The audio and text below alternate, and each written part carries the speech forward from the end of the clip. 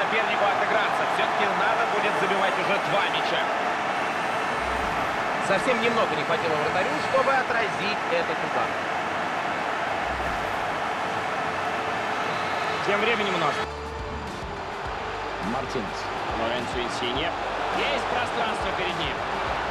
И еще один гол они забивают. Вот теперь крайне сложно будет сопернику отыграться. Все-таки надо будет забивать уже два мяча.